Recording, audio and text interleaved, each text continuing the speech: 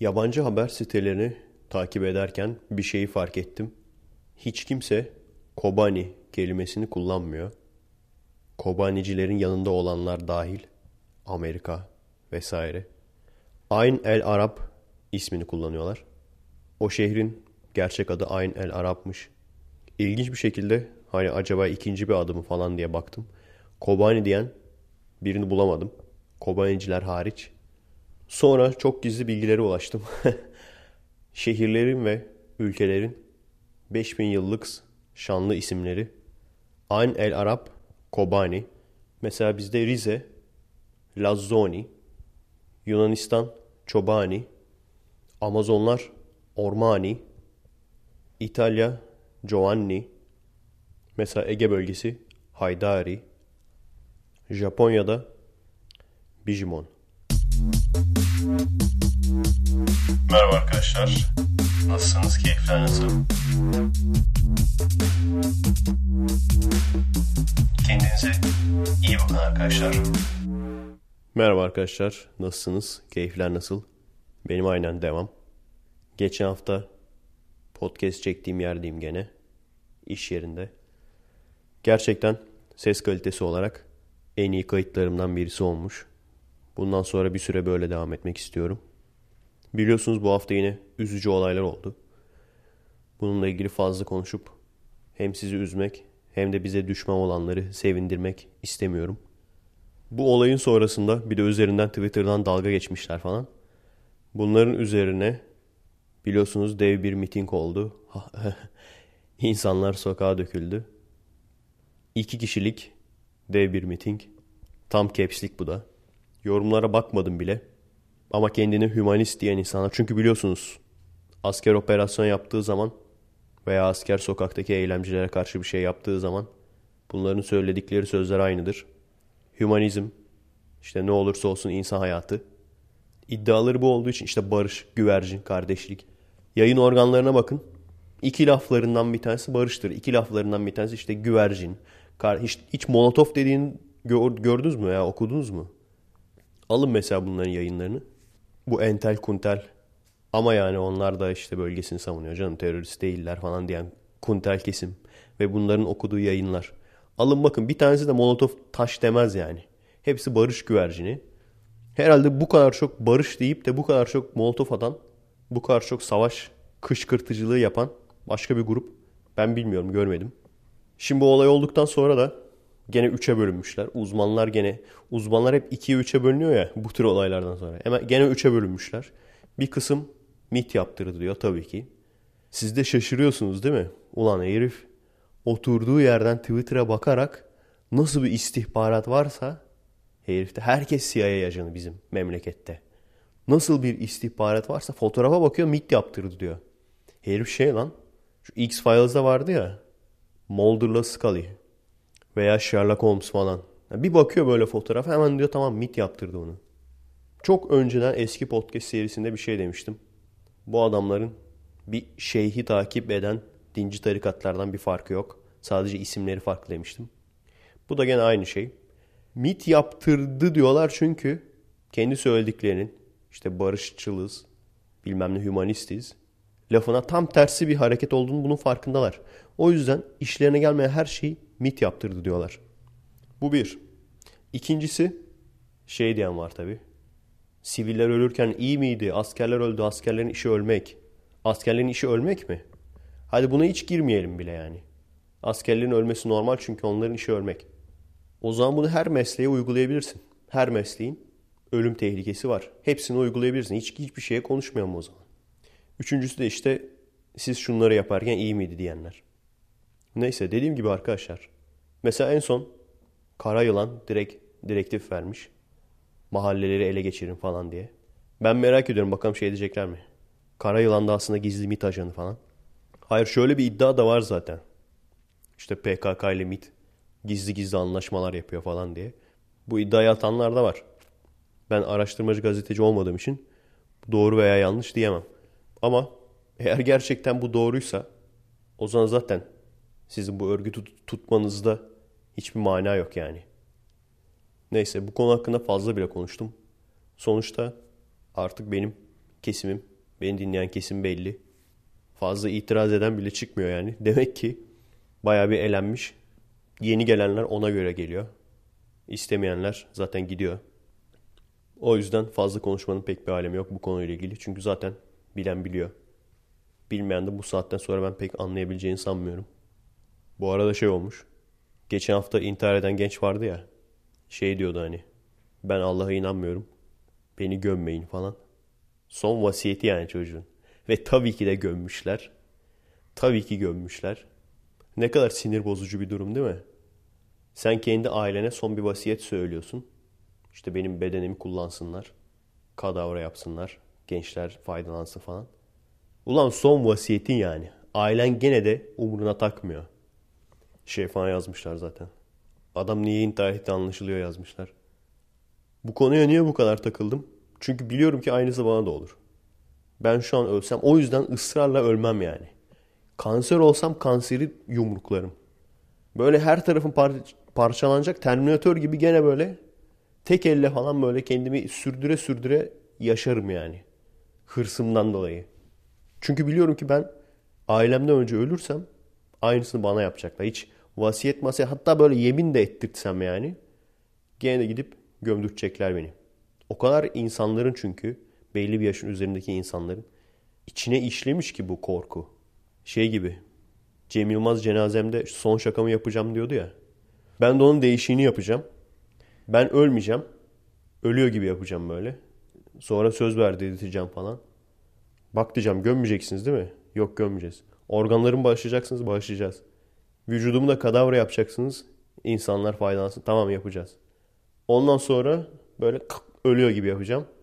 İmamı, doktoru falan hepsini ayarlayacağım böyle önceden. Ondan sonra ne olacağını o kadar eminim ki yani. Böyle lokmayı bol bol koyacaklar. Lokma dökecekler onu bol dökecekler böyle. Aman işte usta şekerini bol koy. Şeyin ondan sonra helva falan karılırken böyle en iyi antep fıstığından falan koyacaklar. Aman abi bol koy falan. Bizim olan ateisti. Normal bir insan ne kadar koyuyorsan bize 2-3 katını koy yani. Helvayı falan. Bayağı bir bütün bu şehri gezecekler yani. Benim o söylediklerimi, kılmadığım namazları falan böyle temizleyebilmek için.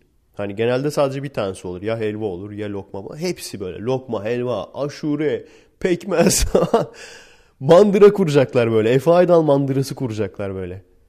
Ondan sonra tam işte cenaze töreninde bir tekme atacağım tabuta. Çıkacağım. Hani gömmeyecektiniz lan beni falan diye böyle. Ondan sonra bizimkileri gömeceğiz tabii. o korkuyla. Evet. Bilmiyorum ailem dinlemiyor galiba. Büyük ihtimal dinlemiyor. Ama dinliyorsanız eğer ki ölürsem size de bu sözü verdirtip de ölürsem bir ihtimal numara yapıyor olabilirim. O yüzden kontrol edeceğim bak. Bir ihtimal numara yapıyor olabilirim. O yüzden gömüyor musunuz gömüyor musunuz kontrol edeceğim. Evet. Ne güzel eğleniyormuş eleman ya. İntihar eden eleman. Bu arada onun yanında bir sakallı adam var. Arkadaşı kankisi. Onun adı adını bilen var mı? Agah mı adı? Agah eğer ben tanıyorum onu abi. Aynı ona benzeyen birini tanıyordum. Adam da çok fırlama birisiydi böyle. Tip çok benziyor ama. Şeyde böyle. Hangisiydi o ya? Isaac. Erasmus değil onu biliyorum ya. Isaac'ti. Isaac'ti galiba. Biliyorsunuz değil mi onları? İşte yurt dışı programları falan. Yurt dışı yabancı öğrenciler falan. O Efe abi gittin mi? Vallahi bu sefer gittim. hani hep şey diyordum ya yok ben gitmedim. İşte bir arkadaş gitti falan. Yok bu sefer gittim abi. Öyle bir sap bir zamanıma denk geldi. Baya bir insan dolmuş. Ben şey diye bekliyordum ha 40 tane abazan gider falan. Öyle değildi yani kızlı erkekliydi böyle. Kızlar direkt entel tipli kızlardı böyle. Olur ya çok fırlama tipler böyle. Pek dış görünüşü güzel olmaz. Ondan dolayı onu bir şekilde fırlamalıkla kompanse etmeye çalışırlar. Kızlar muhabbete giriyor orada. hani o efsanenin doğru olduğu ender yerlerden bir tanesi. Hani çıtanız ne kadar düşük bilmiyorum ama siz oturuyorsunuz kızlar sizinle merhaba falan diye muhabbete giriyorlar. Da yani niye giriyorsun ki? Bak bir düşün yani ben orada yurt dışına açılmak için Isaac'e gelmişim yani. Hani bir düşün bakalım ben yurt dışına neden açılmak istiyorum. Ben yurt dışına açılmak için oraya gelmişim. Seninle muhabbete girer, girerim tabii canım. Arkadaş olarak yani. Faşist Efe Aydal. Isaac'e sadece İşte yabancı hatun düşürmek için. Evet öyle. Öyleydi yani. Siz sanıyor musunuz ki kaliteli eğitim alayım diye giden var oraya? var mı veya? Şey Zaytun haberi olur lan. Öyle bir şey olsa.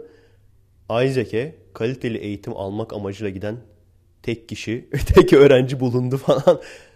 Sonra ne oldu? Bir toplantısına gittim. Olaylarını anlamak için. Oradaydı işte bu sakallıya benzeyen Agah ismindeki arkadaş. Yani ne kadar fırlamaydı diyecek olursanız oranın başı oydu yani. O kadar fırlamaydı. O topluluğun başkanıydı yani düşün. Fırlamalık topluluğunun başkanı yani adam. işte aynen söyledikleri beklediğiniz gibi şeyler yani. İşte güzel eğlenceli. Kızlı erkekli. Tam da hatırlamıyorum. Adının bile Isaac olmama ihtimali bile var. Isaac diye bir yer var da.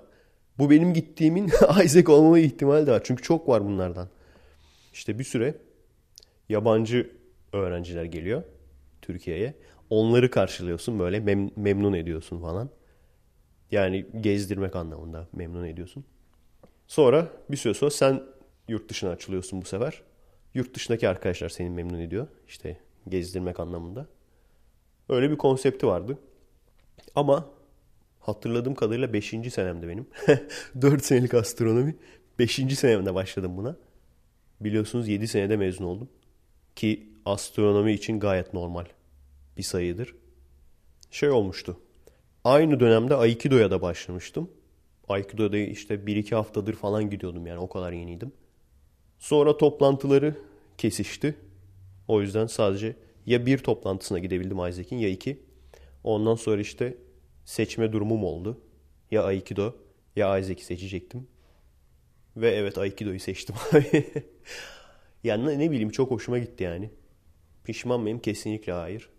Herkesin hayatta hoşuna giden, hayatta kendisini tatmin eden bazı şeyler vardır. Kesinlikle şunu diyebilirim. Eğitim hayatımın en güzel yıllarını üniversitede geçirdim. Üniversitenin en güzel zamanlarını Aikido ile geçirdim. Aikido'daki arkadaş grubuyla. Ne kadar mutlu olsam azdır yani. Kampüs çılgınları. Ege kampüsü. Ege kampüsüne o zamanlar kampüs çılgını falan deyince böyle kip, kipa arabasında yarış yapma falan. kipa arabasına bindirerek araba yarışı yapma falan. Böyle şeylerdi o zamanlar. Şimdi kim daha uzağa molotof atacak? Kim daha çok cam çerçeve indirecek falan onun yarışmasını yapıyorlar. Evet bizim gibi insanlar da kalmış gene de Ege Üniversitesi'nde topluluk olmuşlar. Onların da bir Facebook grubu falan var onları da gördüm. Helal olsun demek ki bizim gibi insanlar da kalmış Ege'de. Gerçi şöyle bir şey var. Ege dediğin zaman zaten bir sürü yer var. Mühendislik var. Fen fakültesi var. Bunlar daha temiz yerler. Tıp var. Bunlar daha hani düzgün insanların. Aslında öğrenci toplumunun adı olacak. Ege Üniversitesi düzgün öğrenci topluluğu. Çünkü ötekiler böyle Ege Üniversitesi öğrencileri mi? Hep öyledir ya bunlar hemen şey yaparlar. Öğrenci birlikleri falan. Hani sanarsın eğitim kalitesini falan nasıl yükseltebiliriz falan. Nasıl daha iyi eğitim alırız falan. Hani ona uğraşıyorlar. Böyle öğrenci birlikleri falan. Öğrenci grubu falan. Hep öyledir isimler yani. Hani şey demezler. İşte molotofçu öğrenciler falan. Hatta daha doğru olmamız gerekirse kaydını yaptırıp dersliğin yerini bilmeyenler topluluğu falan grubu falan öyle bir şey olması lazım. Neyse. Kavga falan çıkmış. Bizim normal öğrenciler bu sefer yürüyüş yapmışlar. Onlara da molotofçular saldırmış. İletişim fakültesinden tabii ki de. Aslında ne yapacaksın biliyor musun? Beni oraya dekan rektör falan yapmasınlar yani. Giderim direkt. Abi sen neredesin? Edebiyat fakültesinden mi? Kur şuraya bir cümle. Al sana şey. Kalem. Git şu tahtaya kur şuraya bir cümle düzgün. Şuraya bir düzgün cümle kurarsan tamam. Kuramazsan atacağım seni. Adamlar ya bir insan edebiyat fakültesini nasıl 6 senede bitiremez? Ondan sonra işte bizim düzgün öğrenciler bunları dövmüş falan. Bunlar kaçmışlar iletişim fakültesine. Yani hoş şeyler değil bunlar. Hani onlar da vuruyor, bunlar da vursun öyle bir muhabbete girmeyeceğim yani. Hoş şeyler değil. Kampüs böyle şeylerin yeri değil yani. Ama sen bunları sistematik olarak engellemezsen bu olayları kafanı çevirirsen, görmezlikten gelirsen bunlar da olur. Yarın bir gün insanlar birbirini vurur orada. O onu vurur, o onu vurur. Yani Türkiye'nin en güzel bence kampüsüydü yani. Hani her kampüsü gezdim mi? Hayır her kampüsü gezmedim ama çok böyle her şeyin rahat, insanların large, giriş çıkış kontrolsüz. Birçok kampüse mesela ne bileyim türbanla giremiyorsun. Bizde türbanla rahatlıkla girebiliyorsun. İstediğin gibi girebiliyorsun yani. Yani sen bu okuldan mısın diye bakmıyorlar bak. Ne kadar güzel bir şey aslında. Ama işte o ne kadar güzel bir şeyi ne kadar kötü bir şekilde kullanıyorlar. Mesela birçok okulda benim bildiğim üniversitede o zamanlar kampüse türbanla girilmiyordu. Bizde öyle değildi ama. Bizde kampüste istediğin gibi gezebiliyordun. Evet. Güzel eğlenmiş ama ya o intihar eden reis. Hayatı yaşamış yani. Bir eğlencesinden bir video falan vardı. O sakallı arkadaşı da orada gördüm. Hani tam şeylik yani capslik tamam mı? Hani eğlence onlarda bizde diye capsini yaparsın yani. Tam böyle şey gibi STV dizilerinde kötü layıkçılar falan olur ya böyle ellerde içki şişeleri falan. bir tanesi böyle alkış tutar falan. Sonra tren yaparlar manasız bir şekilde falan. İşte arkadaşlar niye alkol hiç almıyorum? Bu arkadaşlar hadi gene iyi. Gençliğimden beri bulunduğum ortamlarda insanlar hep çok fazla alkol tükettiği için Aikido hariç ve insanların kafayı çektikleri zaman alkollü oldukları zaman ne kadar saçmaladığını gördüğüm için hani şey ben hiç görmedim.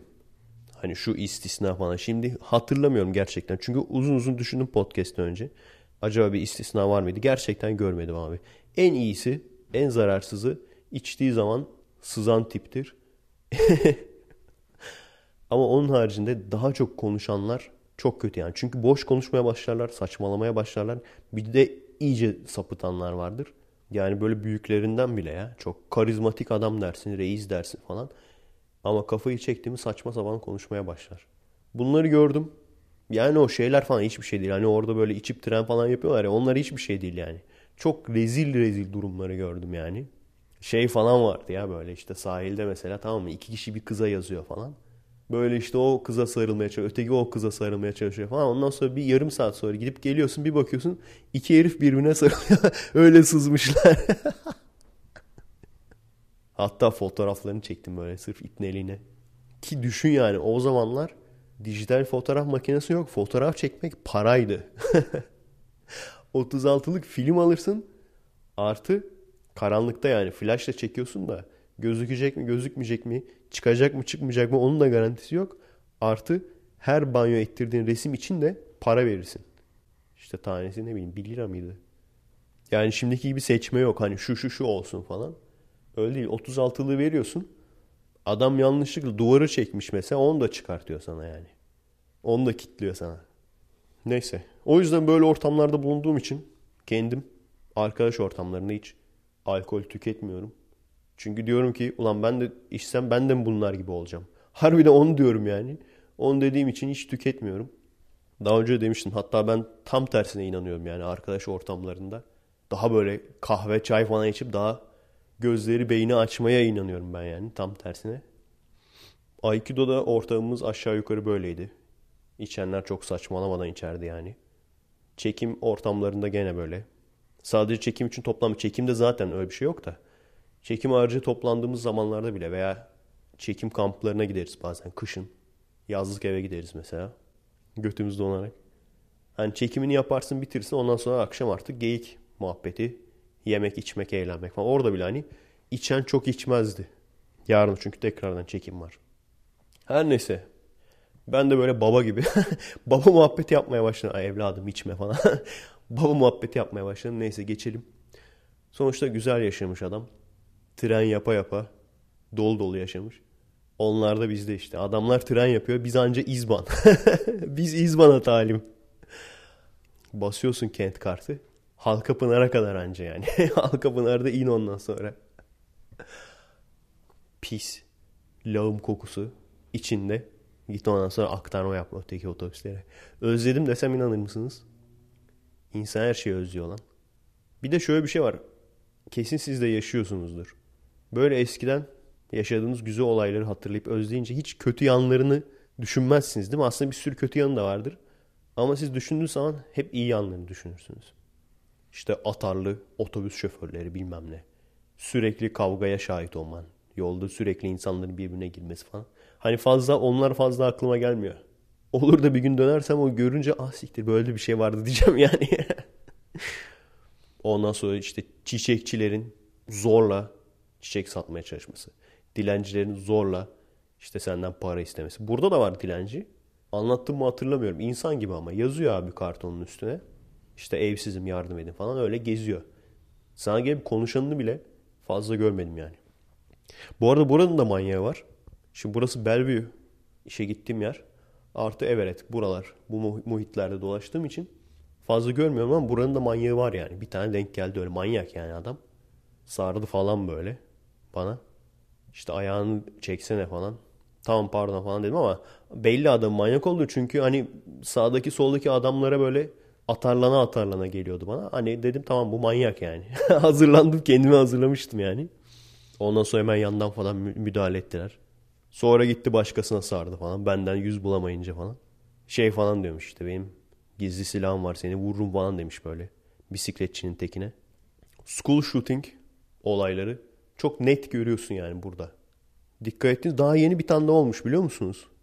Vakitsizlikten haberleri okumaya fırsatım olmadı yani. Marysville school shooting yazarsanız belki çıkar.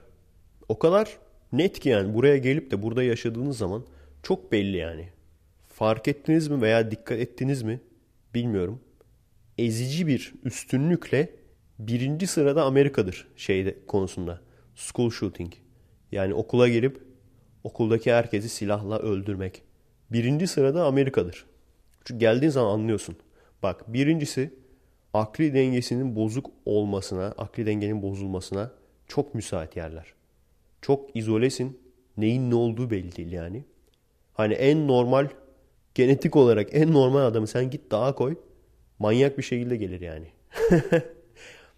Veya çocukluktan beri o dağda yaşasın. Biraz kırık bir insan olur. Burada bir, her şey birbirinden çok izole. Gerçek dünyadan çok kopuk insanlar bir. İkincisi bu Amerika'nın şımarık hayatı demiştim ya rahat ve şımarık hayatı. Çocukları ne isterse birebir yapıyorlar. Türkiye'den beter yani. Öyle olunca ki buradaki insanların daha fazla olanağı olduğu için çocuk baya eşek kadar oluyor. Hala daha dünya kendi etrafında dönüyor sanıyor yani. Eşek kadar oluyor. Okula okula gidiyor falan. E ondan sonra abi işte ortaokulda, lisede falan bu tam tersinin gerçek olduğunu fark ediyor. Bu sefer okulda herkes buna şey yapıyor. İşte bully muhabbeti vardır ya. İri yarı insanlar sürekli bu çocukla dalga geçiyorlar. Dövüyorlar vesaire. İki. Ve üçüncüsü de en önemlisi neden Amerika bir numara bu konuda? En önemlisi silahlara erişimin kolaylığı. Herkesin evinde, cebinde, mevinde mutlaka yani çoğu kişinin silahı vardır. Zaten şey muhabbeti de gerçekmiş galiba. İşte arazine girdiği zaman birisi vurabiliyorsun falan. Hakkın var yani. O yüzden bir silah satıcıları inanılmaz paralar kazanıyor. İnanılmaz paralar kazandığı için ne kadar school shooting bilmem ne olursa olsun hemen bunlar lobi yapıyorlar. Şu an bile yolda yürürken bile adım başı pano çakmışlar. Orada işte topraklara falan adım başı var şey diye. İşte silah kontrolüne hayır falan. Yani nasıl bir kafa bu? Silah taşıma hakkımızı istiyoruz falan. Silah kontrolüne hayır. Nasıl bir kafa bu abi? Neden biliyor musunuz? Şu çünkü. Şeyin çok hoşuna gidiyor. Tabi silah satanların tabii ki hoşuna gidiyor. Çünkü silah kontrolü olsa, silah satın almak daha zor olsa bu adamları baya bir çökecekler yani bir. İkincisi de buradaki insanların abi. Süper cahil. Yani Avrupa'nın amelesi buraya gelmiş lafı vardır ya. Hani Amerika nasıl kurulmuş dedikleri zaman Avrupa'nın amelesi buraya gelmiş. Burada kurmuşlar denir. Buraya geldiğiniz zaman fark ediyorsunuz yani. Çünkü buraya gelmediğiniz zaman Türkiye'deyseniz veya başka bir yerdeyseniz Amerika deyince hep aklınıza şey gelişti. Hollywood filmleri. O Hollywood filmlerin yönetmenleri hep Amerikalı vay falan. Aslında birçoğu da göçmen ha. Ondan sonra Amerikalı bilim adamları. Amerika'nın işte uzaya roket atması falan. Dersiniz ki oh, bunlar herhalde böyle bir ülke dolusu bilim adamı falan geziyorlar böyle yolda. Aslında tam tersi bu insanlar çok büyük bir azınlık yani. Yüzde artık kaç bilmiyorum da gerçekten zeki insan azınlık. Bilimi seven zeki insan azınlık abi. Ama aradaki fark ne? Türkiye ile aradaki fark ne?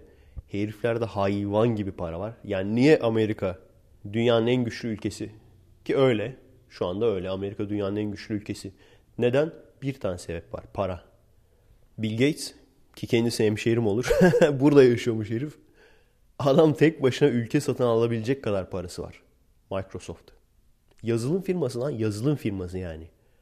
Adam gençken bizim gibi senin benim gibi nerdmüş yani. Bir yazılım yapıyor adam. Dünyanın bak ne prensler var ne şeyhler var ne krallar var. Katar kralı bilmem ne bak neler var yani. Bir ülke herif için çalışıyor mesela. Bir kral için çalışıyor. Umman kralı falan. Katar prensi falan öyle derler ya.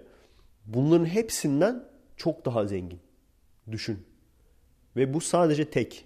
Bunun şeyi var. Amazon, eBay, ondan sonra Coca-Cola. Afrika'da adamın götünde donu yoktur. Ama gider bakkaldan Coca-Cola alır. Marlboro, Camel. Bunların hepsi Amerika. Ve adamlar bu sadece bak dünyaya açılanlar.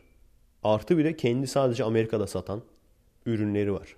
O yüzden adamlar çok güçlü. Ama buraya geliyorsun. Gerçekten hani demiştik ya Amerika'nın petrol açlığı. Bunu görüyorsun yani.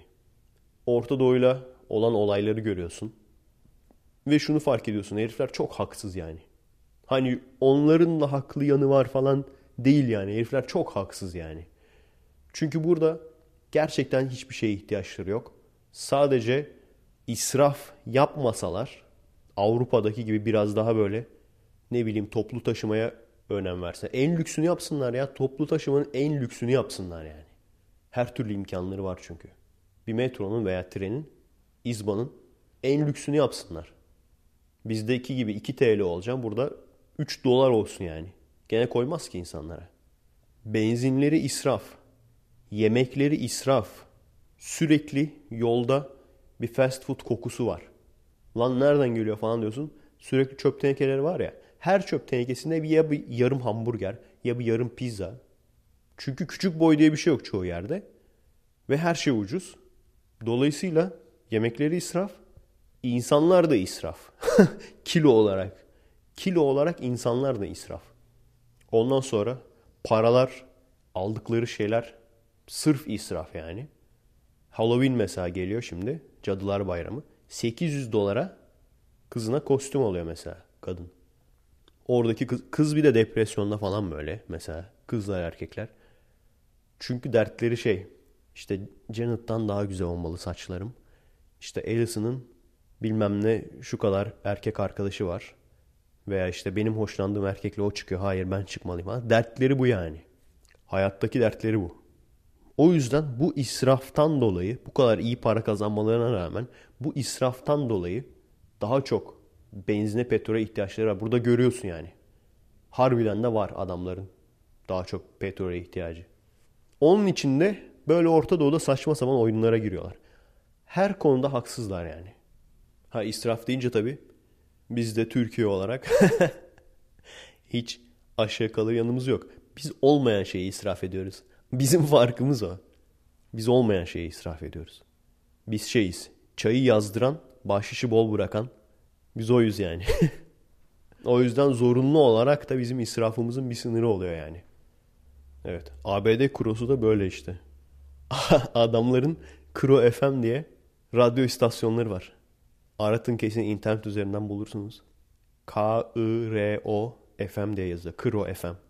Şey falan var ya. Gene mesela çok garibime giden. Gene adamların tembelliğini gösteren ama bir taraftan da gülüyorsun yani. Bir olay. Tebrik kartları. Bizde de bazen böyle DNR'da falan belki görmüşsünüzdür.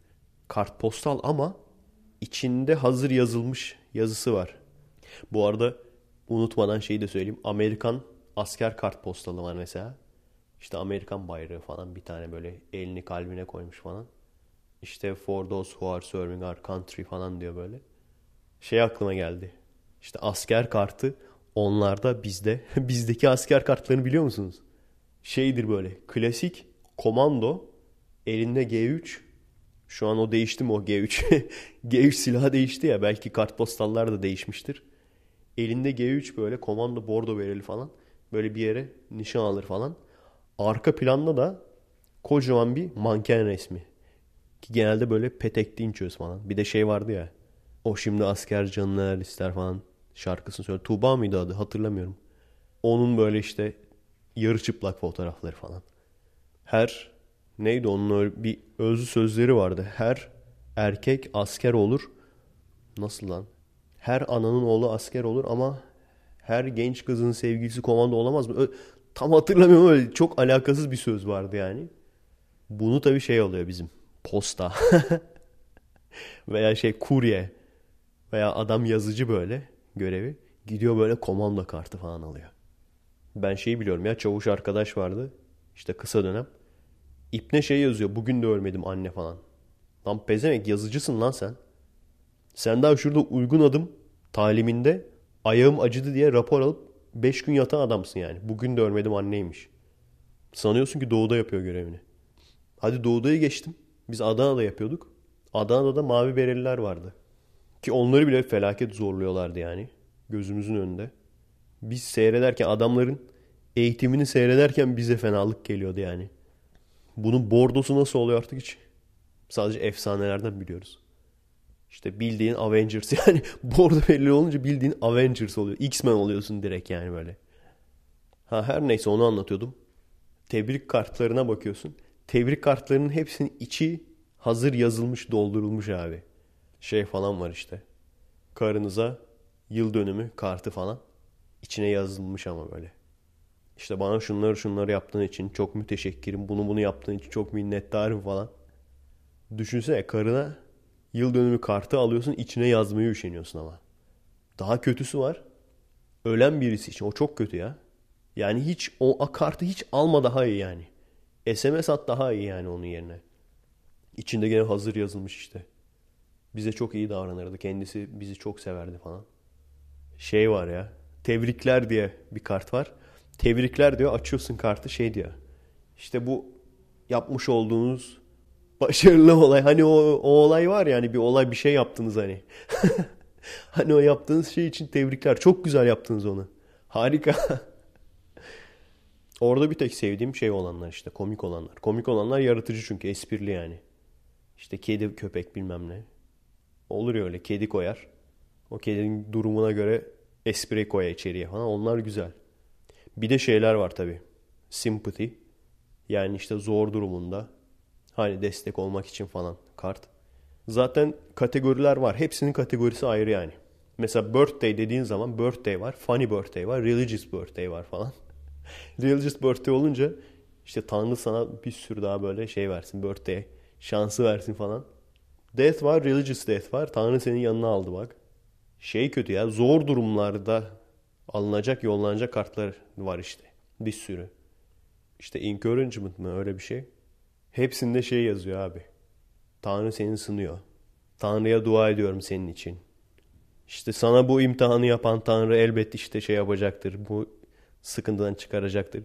Ulan baktım baktım tanrısız bir tane yok. Ateist sen geber diyor yani. Düşünsene ateist arkadaşına kart yolluyorsun böyle.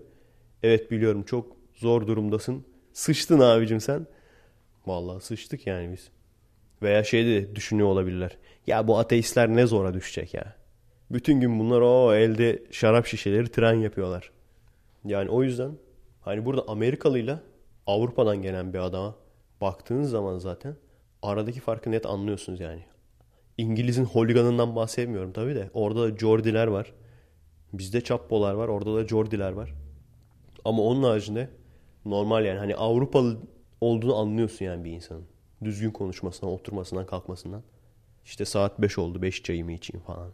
Sir yani herifler böyle. Yani Sir Winston adama çay yapmışlar ya. Sir Winston Tea diye. Adamın adına özel çay yapmışlar yani. Artık beyefendilikten ölüyormuş o. beyefendilikten ölüyormuş o adam. Dur abi demişler. Senin adına özel çay yapalım biz. Ben olsam benim adım neye marka olurdu arkadaşlar? Düşünmedim değil yani. Britney Spears deodorantı var mesela. Fergie ayakkabısı var. Bilmem ne. Kim Kardashian şeyi var. Kıyafet koleksiyonu var burada. Ona da bakmadım. Herhalde şeydir. Göt kısmı büyük. Kıyafet olunca Kim Kardashian Collection. Benim abi Efe Aydal.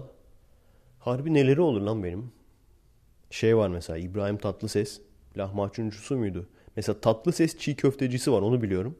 Bir de İbo'nun gene imparator kebapçı mı öyle bir şey vardı. Ben şey olsun isterim ya.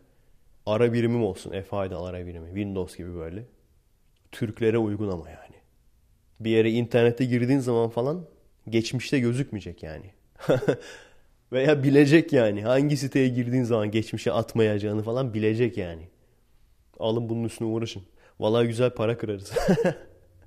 Türkiye özel ara birim. Hata raporu yollayayım mı falan diye salakça şeyler sormayacak. Bu arada ben emekli albay olsam ben ne yaparım diye düşünüyordum. Ben herhalde ben emekli albay olsaydım ben hata raporunu yollardım. Büyük ihtimalle böyle bir 20-30 sene sonra şimdi artık silecek kaldırma falan veya işte apartman yöneticiliği falan out olacak. Üşenmeyip Microsoft'ta hata raporu yollayanlar. Ondan sonra şu Skype'ın her görüşmeden sonra size sorduğu kalite nasıldı, görüşme kalitesi nasıldı falan. Onu böyle dolduranlar falan. Bu arada ateizm serisine de başladım. Yazmaya yani. Daha önce baya bir not almıştım. O notları şimdi biraz düzenli hale getiriyorum. Bir defter tutuyorum şu an. Bölümlere ayırdım. Ateizm serisinin birinci bölümü de öyle birkaç kısımda oluşuyor olacak falan. Onları böyle düzenliyorum falan. Şeylere bakıyorum. İşte farklı kültürlerin, farklı toplumların inançlarına, yaratılış efsanelerine falan. Türklerinkine falan baktım. İngilizce bir kaynaktan daha şey olduğu için, geniş kapsamlı olduğu için. Galiba Wikipedia'ydı. Tam hatırlamıyorum. Bizim bütün Türk efsaneleri falan yazıyor. Böyle bir hoş oldum, garip oldu yani. Türk efsane deyince şey işte mesela bilmediğim benim siz biliyorsunuzdur büyük ihtimalle de. Timur mesela efsanesi var. Onun bir adı da Temir'miş. Söylenene göre ilk demir kılıcı o bulmuş. Gökten böyle bir taş düşüyor. Parantez içinde meteor yazmışlar. O taşı dövdürüyor. Ondan kılıç yapıyor. İlk işte demir kılıç öyle olmuş. Oluyor falan diye bir efsane. En sonunda da şey yazıyor. İşte bu yüzden Türkçe'de iron demir demektir. Aa ulan harbi lan dedim ondan sonra. Harbiden demir kelimesi oradan geliyormuş yani temirden. Sonra şey efsanesi, Köroğlu efsanesi vardı mesela. Ne kadar gaddarmış o zamanlar insanlar ya. Düşünse babanın sakatlığına göre sana isim veriyorlar Köroğlu. Bir tane Türk filmi görmüştüm. Orada da gene köyde adam kısır diye Dölsüz Ali mi? Öyle bir isim koyuyorlardı adama. Gene biz şeyde iyiyiz yani. Hani şu an baya bir ilerleme kat etmişiz. Hani arkasından falan konuşuyorlar böyle işte kuşu kalkmıyor falan diye. O dönemde yaşasan demek ki diyabet çocuğu Efe mesela. Benim babam kalp ameliyatı geçirdi mesela. Kalp ameliyatlı çocuğu Efe. Bypasslı çocuğu Efe. Şeyler falan full zaten böyle işte. Birisi aksaksa falan.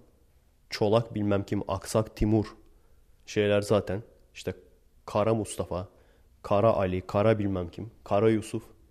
Şimdi olduğunu düşünseniz bütün mesela Amerika'daki zencilere hepsine Kara şey olur lan. Bir noktadan sonra eskir yani.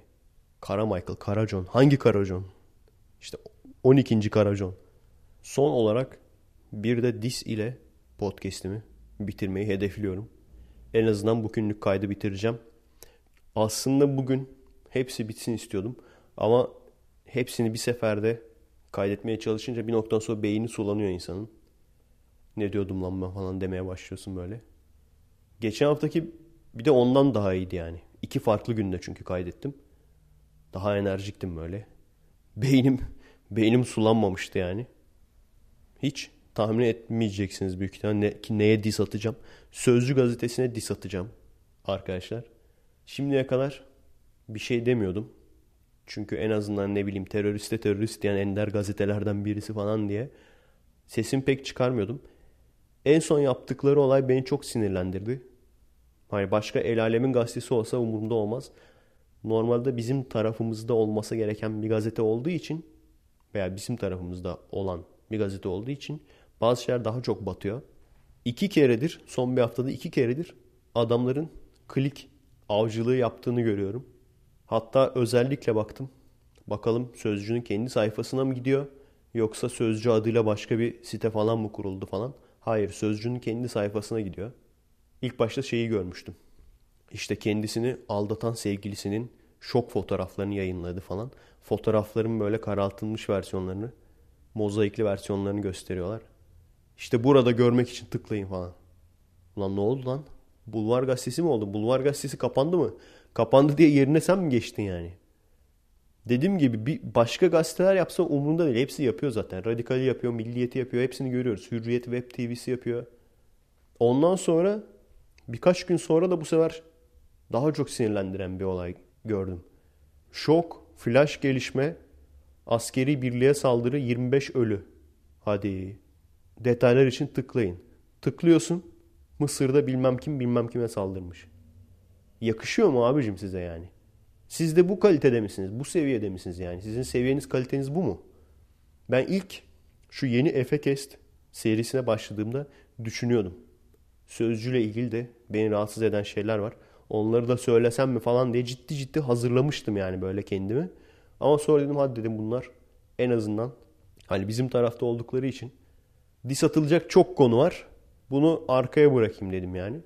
E şimdi de bu altı yediler yani. Yakışıyor mu abicim size yani böyle şeyler? Daha önce niye kızmıştım? Adamlar Twitter'dan haber görüyor. Birçoğu doğru olmayan haberler. Veya internetten haber paylaşım görüyor. Bunu haber diye gazeteye koyuyor. Ön sayfada mesela KCK terör örgütü diyor. Arka sayfada KCK'nın en büyük destekçisi çünkü açıkça KCK'yı desteklediğini yazıyor Retek. KCK'yı destekleyen Retek'in işte Retek bilmem neyi ortaya çıkardı falan. Ki o da doğru bir haber değil yani. Biliyorsunuz Retek her Ekim gene Ekim oldu büyük ihtimal demişlerdir. Ekim'de devrim geliyor. Her Ekim devrim yapıyorlar. Bu işte Ekim devrimine ithafen. Her Ekim'de bunlar Ekim'de devrimle geliyoruz falan diye. Ondan sonra unutuluyor. İşte hesapta bunlar işte dediğim gibi medyanın şişirdiği, gerçekte hiçbir şey yapmayan, işte bir siteyi bozmuş da bilmem ne fakirlerin hesabına para geçirmiş de hepsi yalan yani. Gerçekten hackersan dolandırıcı adamların hesabını boşalt abi. Dolandırıcı adamların hesabını boşalt. Git fakirlerin hesabını aktar ben de sana hacker diyeyim. Öyle siteyi flood yapmakla yarım saatliğine işte siteyi kitlemekle ona hackerlık denmiyor yani. Bu adamların hacker olmadığını biz biliyoruz. Neden medyanın bu adamları şişirdiğini de biliyoruz. Neyse en azından birçok insan artık biliyor. Eskiden çoğu kişi bilmiyordu. Gidiyor sözcü bunun haberini yapıyor. Ondan sonra daha sonra başka bir şey gördüm. Bu Muhammed'le ilgili, İslam'la ilgili film yapan bir adam vardı yabancı Amerikalı hatırlıyor musunuz? O eleman da kendisi de Hristiyan. Ama yani o da şey değil. Bildiğin Hristiyanların hani bizde de bir sürü din dolandırıcıları var ya. Bu da Hristiyanların din dolandırıcısı. Adam filmi yüklüyor ama önceden adamın şeyi var. Bilgisayar kullanma yasağı vermişler. İnternet üzerinden dolandırıcılık mı yapmış? Öyle bir halt yemiş yani. Adama bilgisayar kullanma yasağı mı vermişler? İnternete girme yasağı mı vermişler? Öyle bir değişik yasakları var ya bu şeylerin. Amerika'da olması lazım. Bu gavurların. Adam da bu filmi yüklediği için internete girmiş olduğu anlaşılıyor. O yüzden adamı alıyorlar tutukluyorlar. Bu sözcüğüne nasıl çıktı? İslam'a hakaret eden o filmci yakalandı. Ne bileyim Melih Gökçek seçimi kazanıyor. Sözcüde manşet. Melih Gökçek kaybetti. Mansur Yavaş mıydı? Mansur Yavaş değil mi onun rakibi? Mansur Yavaş kazandı falan diye manşet. Bari şey de lan. Hani Mansur Yavaş kazanmak üzere falan de yani. Ki sonradan toparlayabilesin yani. Kaçtır rezil ettin bizi yani. Neyse dediğim gibi arkadaşlar fazla sinirlenmek istemiyorsanız ben de aslında çok sinirlenmedim. Şey demeyin. Şu kişiler veya şu gazete, şu kurum bizim reisimizdir. Bizi temsil ediyor. Demeyin. Demezseniz bu kurumlar saçmaladığı zaman siz de bunların altında kalmazsınız yani en azından. Ben sadece kendimi temsil ediyorum. Bu kadar. Başka kurumların yediği haltlar beni ilgilendirmez. Yaptığı yanlışlar beni ilgilendirmez. Ben sadece kendimi ilgilendiririm. O yüzden bana diyorlar işte gel abi şu partinin gençlik kolları var falan. Hani hiçbir yerle kendimi bağdaştırmak istemiyorum. Sebep bu yani. Evet. Podcast'in bir saati geçmiş olma ihtimaline karşı biliyorsunuz ay sonunda Patreon'dan bize en çok destek olan arkadaşların isimlerini buradan okuyorum. Şimdi gene sözümüzü yerine getirme zamanı. Bu ayın sponsorları Kıvanç Günbaş olması lazım soyadını yazmamış. Cem Bilge, Oğuz Beşer, Uygar Pala, Barış, Murat İstin sponsorlarımız. Baya zengin zengin insanımız artmış baya. Bundan sonra bir de şey bölümü açayım. Puro nasıl içilir falan. Şarap seçimi nasıl olmalıdır? Bu arkadaşlara özel. Bunun haricinde de sponsorlar haricinde en çok destek olan arkadaşlar Emre Göceroğlu, İhsan Özyürek, Arkanek Ora Orgollimir, James Onur Benli, Selman Arıbey, Ogan Kitapçı, Oscar Koren. Böyle işte fake isimlerinizi yazarsanız ben de fake isimlerinizi okurum. Kaan Yazgan, Sergen Erol, M. Cem Kobal, Önder Ertürk. Bu arkadaşlarımıza da teşekkür ediyorum. Bu arada biliyorsunuz ilk Patreon açıldığı zaman şey diyordum. İşte böyle astronomi serisi gibi falan faydalı eserler veya daha büyük prodüksiyonlu videolar çekersem çektiğim zaman sonuna işte sponsor olarak veya destek olan arkadaşlar olarak isminizi yazacağım falan diyordum. Sonradan hatırlıyorsanız onu kaldırmıştım çünkü bir video çok fazla vakit alacağını fark ettim ve 2-3 ayda anca bir video belki de çıkartabilirim mi fark ettim yani. Özellikle bu şekilde astronomi serisi gibi olanlar. O yüzden onu silmiştim. Ama gene de astronomi serisinin sonunda bu arkadaşların isimleri olacak. Gerçekten iyi gidiyor astronomi bu arada. Biraz daha uzayacak. Kasım'da büyük ihtimalle biter ama. Uzamasına üzülmüyorum. Çünkü her gördüğüm lan şuraya da bir animasyon yapayım falan diye böyle. O şekilde ilerliyoruz yani. Çok dolu olacak o yüzden. Çok fazla içinde emek olmuş olacak. Ve gerçekten yani onlarca kişinin emeği var bunun içinde. Ta yazın çekmiş olduğumuz o çekim ekibi. Biraz sürpriz olsun. Bazı gezegenleri anlatırken falan böyle dramatizasyon yapıyoruz arkadaşlarla falan. biri Jüpiter oluyor, biri göktaşı oluyor falan. Birbirlerine giriyorlar falan. Neyse görürsünüz. O ekipten tut. Ondan sonra burada animasyon yapanına kadar. Yani hepsi bu işte gerçekten büyük katkıları oldu. Bu işi esasen yapması gerekenler ne yapıyor peki? Bilmiyorum abi. Yani bizim bir bilim kurumumuz yok mu? Bizim bir bilim bakanlığımız yok mu? Onlar neyle meşgul şu anda? Gerçekten bilmiyorum. Bilmediğim için soruyorum yani. Yani biz elinde bir yetkisi olmayan ve bir ödeneği olmayan, devletten ödenek almadan bu işi yapa, yapabiliyorsak bu şekilde elinde yetkisi olanlar ne yapıyor? Hani belki şimdi sorsan şey der ya işte imkanımız yok Amerikalılar gibi. Biz nasıl yapıyoruz? Tam zaten onlar yapmasınlar ya. Onlar çünkü yaparlarsa gene şey gibi yaparlar. Bıyıklı bir lise hocası gelir. gene böyle tahtaya not yazar. Gene öyle yapar yani. O yüzden onlar yapmasın. Biz yaparız boş ver. Ha şimdiden bile girişe atarlananlar olmuş. İşte müzik çok böyle işte şey beğenmemişler müziği falan. Cıvık buldular herhalde. Böyle biraz dubstep gibi yaptık. Merak etmeyin videoyu yüklediğim zaman iyice atarlananlar olacak. İşte çok argo kullanmışsın, çok sokak ağzıyla konuşmuşsun öyle. Çünkü ben kendi seyircime yapıyorum bunu. Ben talim terbiye kurumu değilim ki. Ben Milliyetin Bakanlığı da değilim, TÜBİTAK da değilim. Madem düzgününü istiyorsunuz o zaman otursunlar yapsınlar abi. Madem eğitim kurumlarında böyle yayınlanabilecek seviyede istiyorsunuz. Böyle kepsli, esprili olmayan o zaman otursunlar kendileri yapsınlar. Ben kendi seyircime yapıyorum. Gerçekten gördükçe gerçi o introyu biraz daha düzelteceğiz. Son versiyon değil yani o. Ama gördükçe gerçekten çok gurur duyacağımız işlerden bir tanesi olacak yani. Onu söyleyebilirim size. Yayınında da ve yapımında emeği geçen herkes gerçekten çok gurur duyacak oraya ismini yazdırdığı için. Çok teşekkür ediyorum. Şu anda animasyoncuya artık bu bölüm için gerek kalmadı. Çünkü ekstra animasyon olduğu zaman ben kendim 2D yapıyorum. Biraz şema gibi. Görselli animasyonları zaten arkadaşlar yaptılar. O şekilde devam ediyoruz. Benim vaktim doldu arkadaşlar. Şimdi mesaim başlar. Eğer bir saati doldurduysak kendinize iyi bakın. Bir sürü konu kalıyor hep. Ama dediğim gibi hani çok konu var diye bir sürü konudan da konuşamıyorum. Gerçekten beyin sulanıyor bir noktadan sonra. Zorlayıp konuşsam zaten güzel olmaz.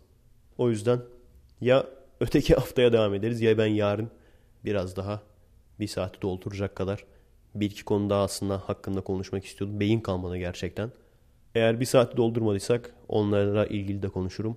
Kendinize iyi bakın. Bilime emanet olun. Evet geri geldim arkadaşlar. Ertesi gün şu anda. Evde kayıtları kontrol ettim. Büyük ihtimalle bir saatin altına düşecek. Sırf ondan da değil. Çok Patreon muhabbeti falan yaptık ya. Esas konulara fazla giremedik.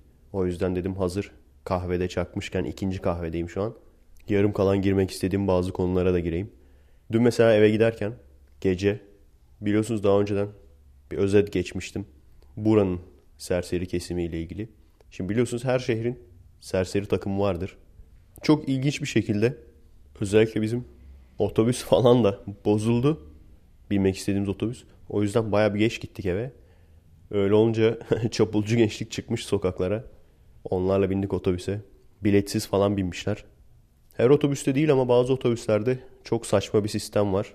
Durakta basıyorsun kartını veya durakta bilet makinesi var. Oradan biletini alıyorsun.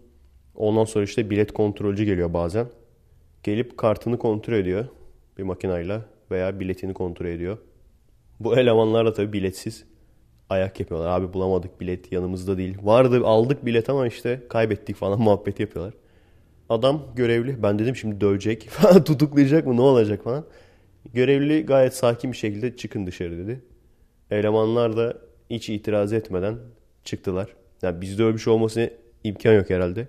Şeyi düşünün yani turnikenin üzerinden atlayıp gidip hiçbir şey olmamış gibi. Ondan sonra güvenlikçi durdurmaya çalışınca güvenlikçiye saldıranlar.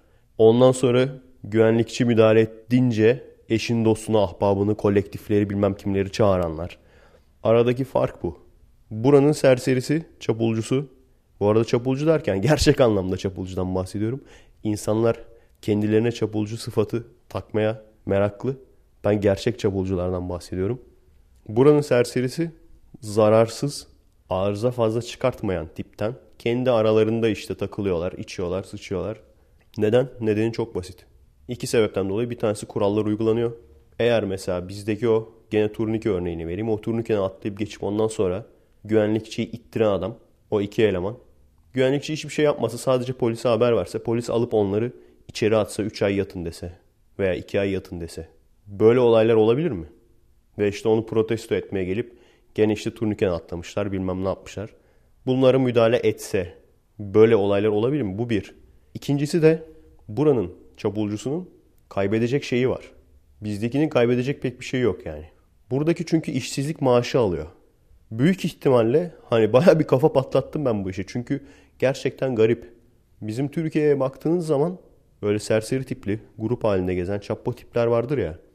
Sağ sol laf atar. Genelde suçlar bunlardan çıkar. Baktığınız zaman hep değil ama genelde göçmen tiplerden, başka yerden gelmiş tiplerden oluşuyor. Burada ise tam tersi. Bakıyorsunuz neredeyse tamamı beyaz Amerikalı. Daha bak zenci bile görmedim. Ki biliyorsunuz zenci de artık buranın hani göçmeni değil yerlisi sayılıyor. Zenci bile yani neredeyse bir veya iki tane gördüm. Hani işte bozuk paranız var mıydı falan diyen. Onun haricinde direkt buranın yerlisi yani. Çok ilginç. Çünkü sen Amerikan vatandaşıysan ve burada doğup büyümüşsen yani rahat içinde hiç kasmak istemiyorsun işe gidip gelmeye.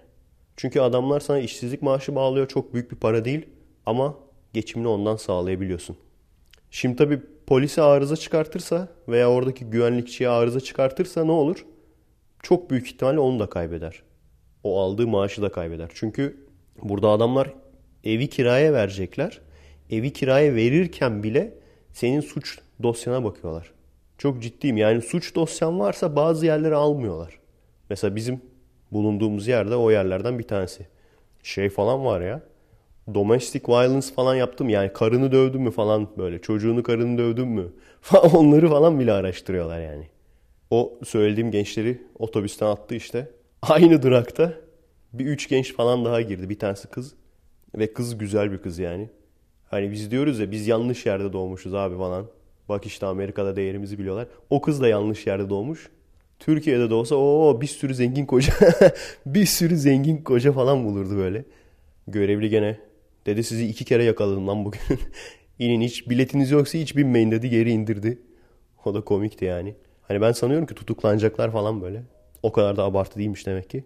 Çünkü bir kere gördük yani buraya geldiğiniz zaman çok Türkiye'den çok değişik çok farklı şeyler görüyorsunuz. Mesela üstü başı düzgün bir kadın bir baktık Walmart'ın çıkışında polis tutuklamış bunu. Tutukluyor yani.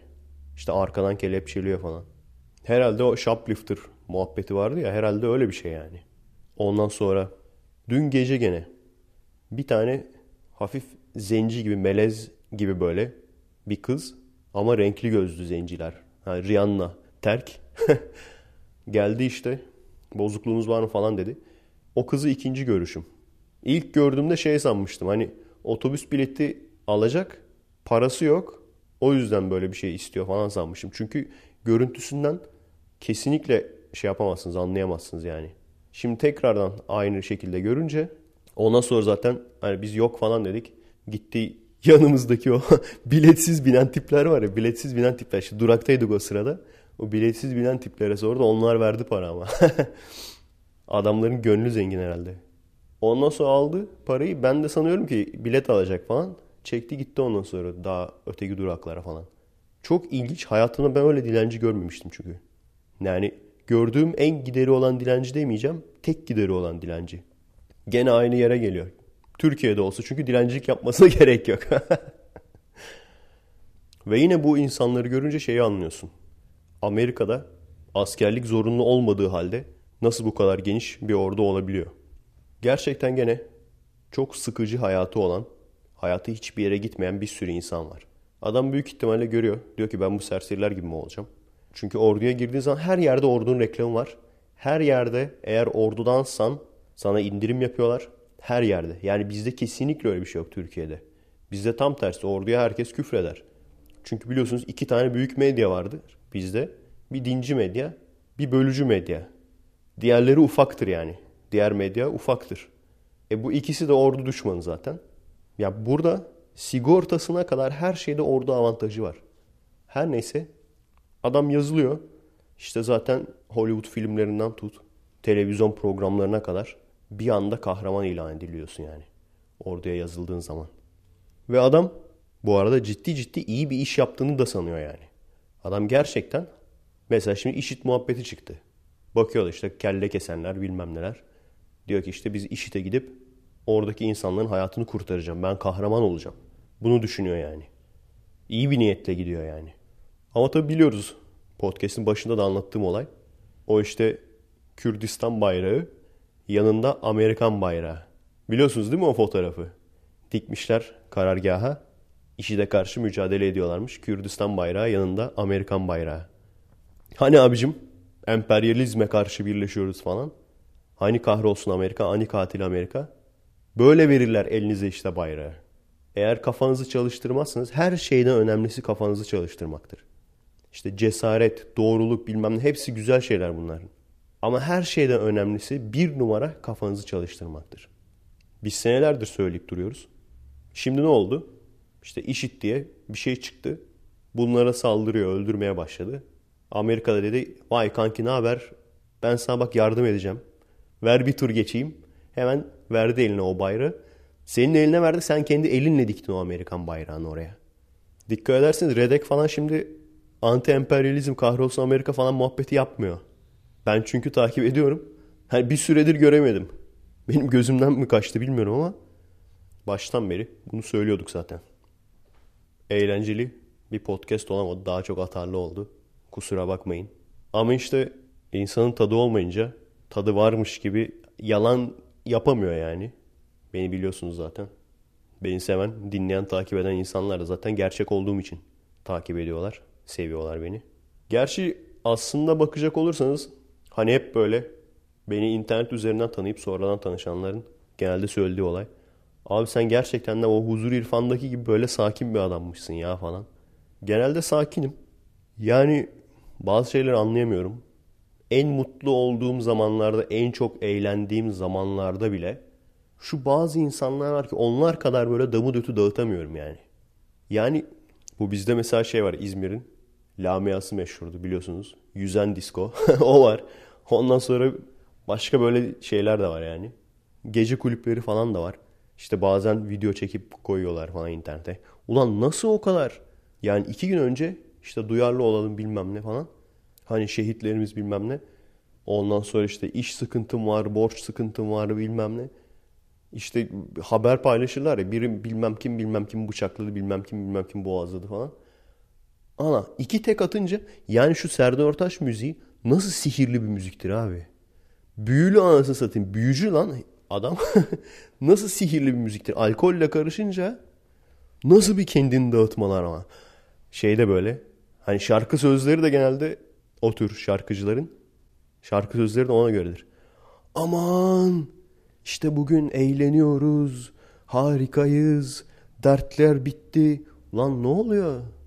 Ne oluyor? Bu kadar basit miydi lan bu iş? Ben de mi içsem ne yapsam? yani ben hiçbir zaman şunu unutamıyorum yani. Bir sürü hani televizyonda gördüklerimi de geçtim. Kendi hayatımda yaşadığım insanlar. Onları unutamıyorum. Sadece insanlar da değil hayvanlar da dahil. Ne kadar insanlar acı çekiyorlar. Bu benim kafamdan çıkmıyor yani. Maalesef. Bazen çıksın istiyor insan ama kafamdan çıkamıyor yani. Durduk yere adam hiçbir şey yokken kanser çıkıyor. Durduk yere çocuğu oluyor. Çocuğu 2-3 yaşına geldiği zaman bir hastalığı ortaya çıkıyor. ALS türü işte. Onun bir farklı versiyonu. Diyorlar ki işte 15 yaşına kadar bu şekilde tekerlekli sandalyede yaşayacak, konuşamayacak, nefes alamayacak. 15 yaşında da akciğerleri fazla büyüdüğü için ölecek. Hadi bakalım. Şimdi böyle tanıdıklarım var, böyle arkadaşlarım var. Nasıl bunları unutup da bu kadar damulötü dağıtabilirsin yani? Ya hepsini geçtim. Bilmiyorum yaşlandığım için midir nedir? Yani bir yolda yürürken o sokak kedilerin halini görüyorsun. Kedilerin köpeklerin halini görüyorsun. Ona bile üzülüyorsun yani. Ona karşı bile bir şey yapamıyorsun. Çünkü sokak hayvanları vakıfları, dernekleri bir sürü böyle şeyler var ya. Kısırlaştırmaya karşı falan birçoğu şey yapıyorlar. Önlem almaya çalışıyorlar. Çünkü sokak hayvanı olmazsa sokak hayvanı derneği de olmaz. Lan bunlar vahşi hayvan mı? Bak burada var. Ne var? Vahşi tavşan var. Vahşi sincap var. Ama bu hayvanlar zaten sokakta yani vahşi doğada yaşayan hayvanlar. Ağaçta yaşıyor. Kendi zaten doğal ortamı ağaç. Tavşan da öyle. Ama kedi ve köpek vahşi hayvan değildir. Kedi ve köpek vahşi ortamda yaşayamaz. İnsan eliyle özel olarak insanla birlikte yaşaması için özel üretimdir. Kedi bildiğiniz vahşi işte o vaşak veya vaşağım türevleri olan kedilerden. Hatta tam şeyi vahşi kedi diye geçiyor. Wild cat diye geçiyor. Tam bizim ev kedisinin türediği hayvan. Yani neredeyse kedinin görüntü olarak aynısı biraz daha büyüğü. Köpek de kurttan. Bu ikisi de insan eliyle türetilmiş. Bunlar o yüzden tek başlarına yaşamaları bunların ızdıraptır. Ne üremesini bilirler. Kontrolsüz ürer giderler. Bir sürü bebekleri ölür, ezilir yollarda. Ne doğal ortamda yaşamasını bilirler. Giderler çöpleri karıştırırlar falan. Sen su koymazsan kaba su bulamazlar içecek. Ama işte bunları kontrol altına al deyince nedense en başta hayvanseverler çıkıyor karşı. Neden olduğunu ben biliyorum gerçi de. İnsanlar uyanmak zorunda artık yani. Eğer sürekli sokakta ölü köpek, ölü kedi görmek istemiyorsak en başta en basitinden bu hayvanların üremesini kontrol altına almamız lazım. Hayvan barınakları falan da önemli tabii de. Bir de o barınakların durumu var. Durumların iyileştirilmesi var. Yani burada yok öyle bir şey. Sokak kedisi, sokak köpeği diye bir şey yok. Ve hatta özel hat var. Sokak kedisi, sokak köpeği görürseniz bir tane bizi arayın diye. Yani buranın hayvanı, buranın kedisi köpeği bizim insanımızdan daha çok değer görüyor. Türkiye'deki insandan daha çok değer görüyor. Amerika'daki hayvan. Bu kesin bir şey, net bir şey yani. Angut angut yorumlarla geliyorlar. İşte seni kısırlaştırsa iyi mi olur? Bir tane ufak fark da gene. Türkiye'de mesela özürlü çok. Zihinsel özürlü genelde. Sokakta çok görürüz. Sebebini zaten dışarıdan gelen birisi bunu fark edemez. Eşim falan sebebini anlayamadı yani. Çünkü Romanya'da da o kadar yok. Bizde çok fazla var. Neden dedi sizin burada zeka özürlü insanlar çok fazla? Sebebini biz biliyoruz işte. Söyleme gerek var mı? Akraba evliliği. Akraba evliliğine karşı biliyorsunuz kamu spotu her şeye karşı bir kamu spotu yapılır. Nargile'ye karşı. En son toprağımız çok güzel diye kamu spotu yaptı adamlar. İşte toprak varsa hayat var falan diye. İyi güzel. En önemli en büyük sıkıntılardan bir tanesi olan akraba evliliğine kimse değinmiyor. Değinemez. Çünkü bizim dinimize göre hani adamlar çıkıp söylüyor ya bizim dinimizde her şey bilimseldir falan. Bilimsel olmayan bir şey bulamazsınız. Bak kuantum bile yazıyor. Kuantum bile yazıyor ama aynı zamanda amca olun, dayı olun, hala olun bilmem ne sana helal kılınmıştır diye peygambere söylüyor bunu. Böyle bir ayet de var. İnsanlar da ona bakarak bunun normal bir şey olduğunu düşünüyorlar. Bir. ikincisi de o yüzden buna karşı kamu spotu yapılamıyor. AKP öncesinde sıcağı sıcağı programında falan hep anlatıyordum işte. Sadece o programda değil bir sürü programda üstüne bastırarak söylerlerdi. Köylüler çıkardı. Köylülerin özürlü çocuklarını gösterirlerdi. Babalar anneleri çıkardı. İşte biz bir hata yaptık, akraba birliği yaptık, siz yapmayın vesaire. İnsanları bir şekilde bilinçlendirmeye çalışırlardı. Onu anlatıyordum. Neyse Türkiye'de özürlü insanlar çok. Burada da deli çok. Neden bilmiyorum. Kendi kendine konuşan. Ve hareketler falan yapan. Acaba şeyle alakası var mıdır yani? Çok fazla böyle hapı uyuşturucuyu falan böyle fazla kaçırırsan bir noktadan sonra beyin bir noktadan sonra beyin yanıyor mu acaba? Gerçekten fazla gördüm. Belki de şeyden dolayı da olabilir. Bizde Türkiye'de olsa döverler çünkü o adamı. Sağ sola sarar falan. Anlattım ya mesela podcast'in başında falan. Öylesi var millete salça olan. Millete salça olmayanı aslında daha çok da. Salça olanı var. Bu adamların hepsi dayak yerdi yani bizde olsa. Ben biliyorum bir iki tane delimiz vardı bizim. Allah'ın gün dayak yerlerdi. Birkaç sene sonra bir baktım adam düzgün düzgün yürüyor. Herifi döve döve düzeltmişler yani. Kafasına vura vura düzeltmişler adamı yani. Şeyden dayak yerdi yani. Çok zararlı bir adam değildi. Zararsız bir adamdı. Giderdi ama küfrederdi millete. Bizde de şey yok. Hani birini döversin. Polis gelir ayırır seni anca. Hele ki dövdüğün deliyse bir şey olmaz yani. Polis gelir ayırır. Burada öyle değil tabii. Deli bile dava açabiliyor sana. Ki bazıları büyük ihtimalle bilerek dayak yemeye mi çalışıyor artık? Ne yapıyorlarsa pezevenkler. Her neyse arkadaşlar. Evet. En azından bu hafta konuşmak istediğim konuları bitirdim. Kendinize iyi bakın. Adresimizi biliyorsunuz. youtube.com bölü kommek, twitter.com bölü kommek. Destek olmak isteyenler için patreon.com bölü Efe Aydal.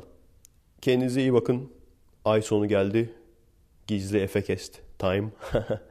Gene patreon.com'dan ne olursa gizli Efekest'e ulaşabilirsiniz. Onu da öğrenebilirsiniz. Bilime emanet olun. Görüşürüz. Merhaba arkadaşlar. Nasılsınız? Keyifler nasıl?